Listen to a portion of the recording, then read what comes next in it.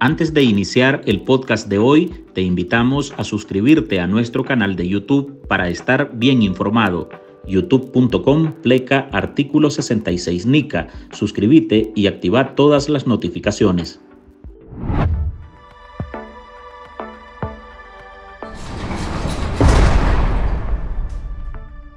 La vigilancia en los centros penitenciarios, donde el régimen de Daniel Ortega y Rosario Murillo tiene bajo ilegal encarcelamiento a más de 120 presos políticos, ha recrudecido en las últimas semanas.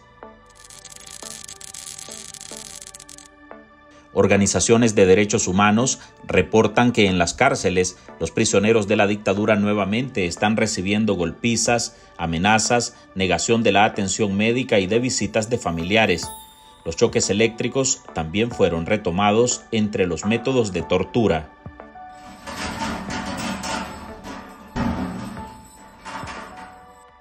La Unidad de Defensa Jurídica documentó que actualmente los detenidos son interrogados y torturados en el Sistema Penitenciario Nacional Jorge Navarro, es decir, que ya no solo los comisionados y policías de menor rango se encargan de esa violación a los derechos humanos, el patrón ahora lo implementan los alcaides y funcionarios de prisiones.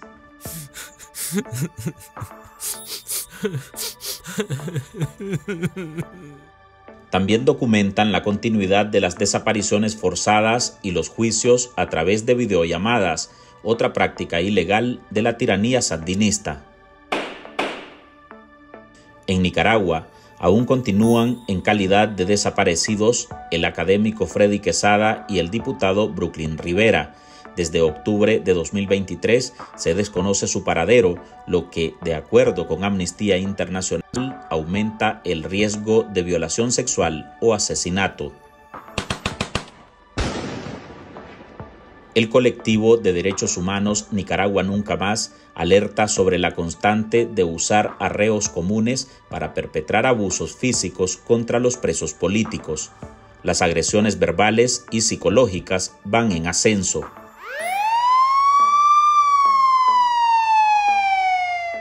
La organización hace hincapié en que la desaparición forzada en Nicaragua es una práctica sistemática de tortura y malos tratos hacia las personas que son detenidas arbitrariamente.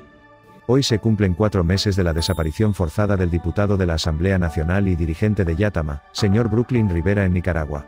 Instamos al Estado a permitir inmediatamente la comunicación con su familia, proteger su vida e integridad y proceder a su liberación. Hola, soy Álvaro Navarro y hoy en el podcast Ahora de Artículo 66 le presentamos intensifican torturas contra las más de 100 personas presas políticas en Nicaragua. ¿Por qué la dictadura aviva los mecanismos represivos en las cárceles? ¿Qué representa la desaparición forzada de opositores? ¿Por qué no libera a más de un centenar de presos políticos? Marlin Balmaceda lo explica en esta edición.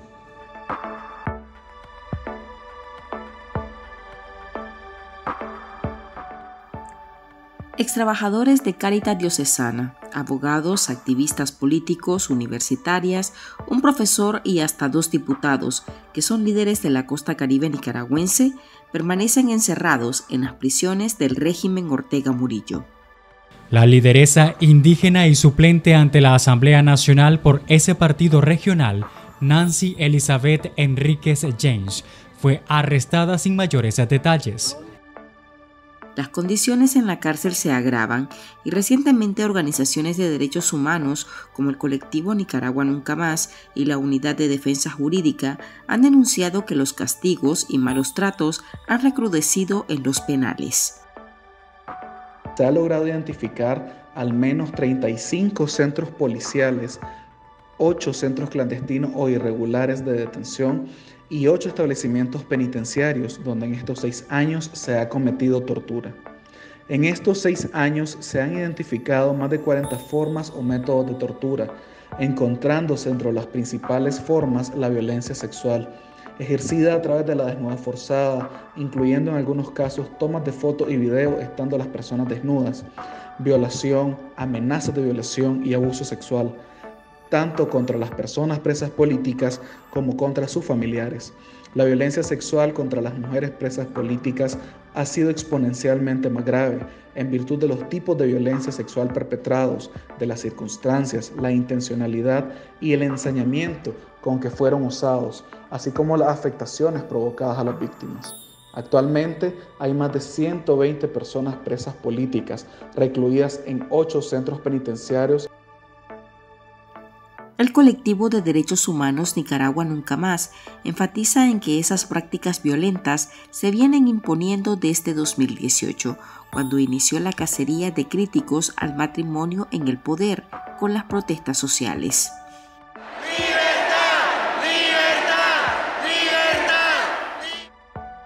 Advierte que esas violaciones a los derechos humanos son reiterativas. Algunas prácticas las modifican para que el temor no solo lo asuman los presos políticos, sino también familiares.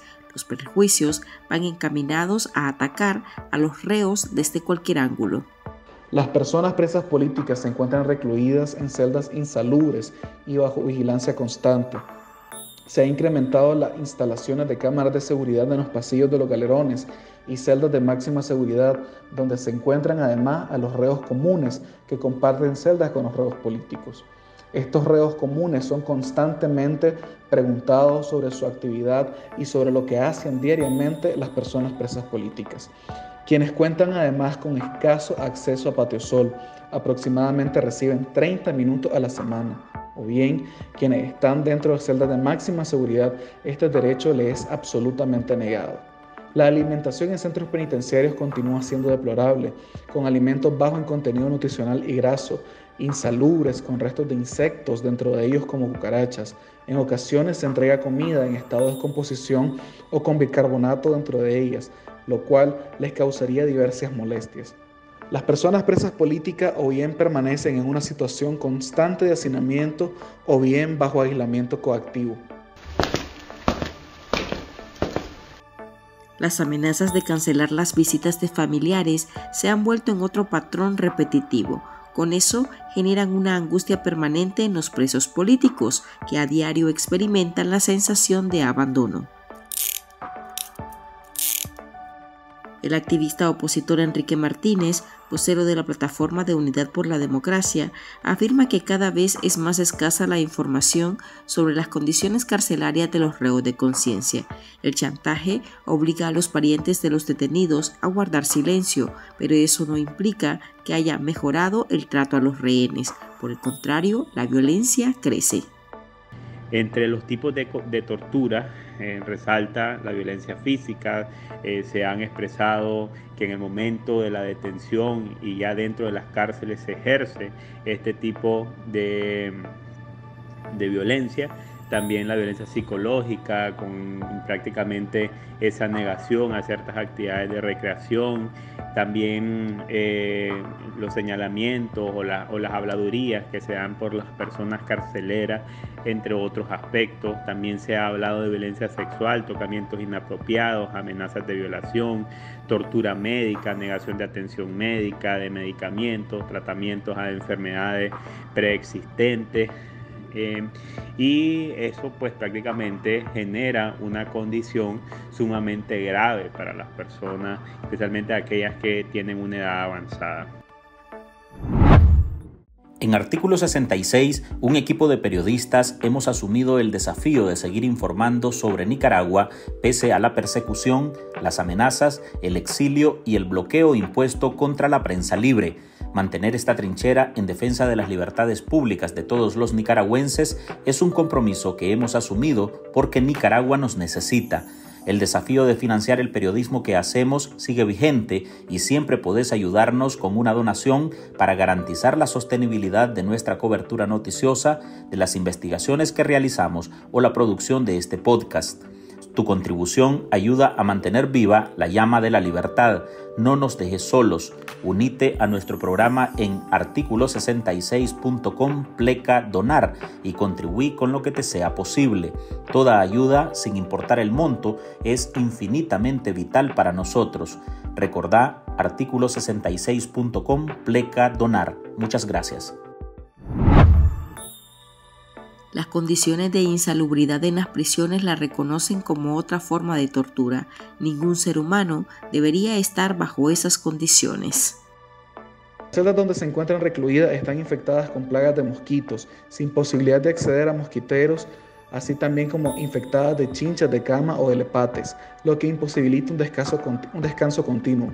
Sumado a ello, se siguen reportando actos de interrupción de sueño como golpe en las rejas por parte de los custodios, alumbrarles durante las noches o bien llegar a amenazar a sus celdas, las cuales generalmente están expuestas a temperaturas extremas, generándoles deshidratación, situación que se ve agravada debido al nulo acceso de agua potable que tienen dentro de los penales.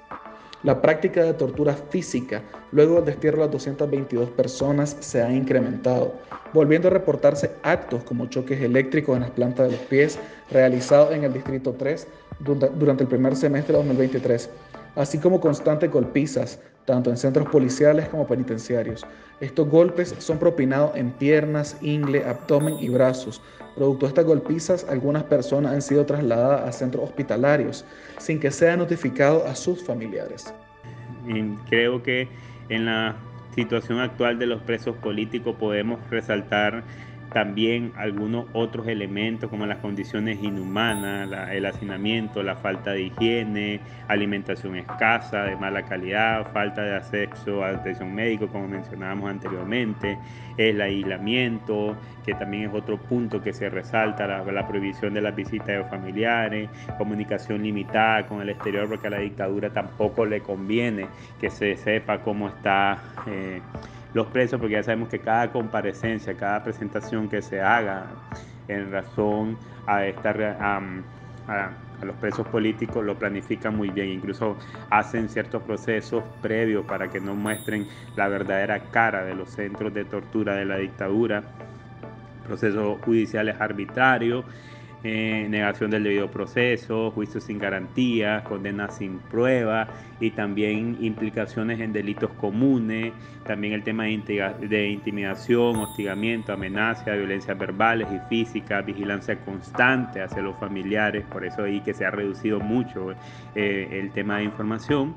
Entonces creo que es clave. Y aquí un último mensaje y es todavía exigir la libertad a la dictadura de estas personas, que ponga fin a la tortura, a los tratos crueles e inhumanos y degradantes contra los ciudadanos nicaragüenses que están en las cárceles. Y las celdas de aislamiento se configuran en uno de los mayores castigos, en particular en los penales de hombres. Dentro del centro penitenciario La Modelo se reportó la utilización de chachas o esposas a presos políticos durante días, impidiéndoles acceder a realizar sus necesidades fisiológicas. Persiste la utilización de redes comunes para ejercer violencia contra las personas presas políticas, a quienes le han incitado a golpearles, tenerles vigilados, amenazarles o incluso decir que les violarían. En este último semestre 2023, se registraron dos huelgas de hambre, la primera en septiembre realizada por 12 personas presas políticas dentro del EPIN, quienes exigían atención médica, acceso a agua potable y patio sol, y la segunda registrada a partir del 1 de diciembre en la modelo. El mismo día anunciaron que anunciaron huelga de hambre, siete presos políticos fueron engrilletados y trasladados a celdas de máxima seguridad. Los reos políticos permanecieron durante 11 días sin paquetería ni en seres de aseo personal. Posteriormente, aproximadamente 30, 300 antimotines entraron a la Galería 16, pusieron boca abajo a 20 reos políticos y algunos les golpearon. Como colectivo de derechos humanos Nicaragua Nunca Más seguimos documentando la grave situación de tortura en el país, la cual constituye un crimen de lesa humanidad que no admite amnistía, impunidad y que debe de ser enjuiciado. Más de 2.000 nicaragüenses han pasado por las cárceles del país desde hace seis años. Todos fueron sometidos a juicios espurios y condenados con pruebas falsas o fabricadas.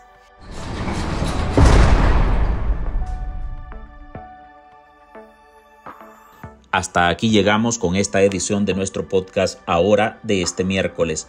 Gracias por compartir en todas sus redes sociales y recuerde que en artículo 66 seguimos comprometidos con investigar la corrupción y publicar los hechos que nos afectan como país. Usted lo puede hacer con nosotros. Su aporte a este medio de comunicación es valioso y puede dejarlo en www.articulo66.com pleca donar. Soy Álvaro Navarro, nos oímos en el próximo episodio.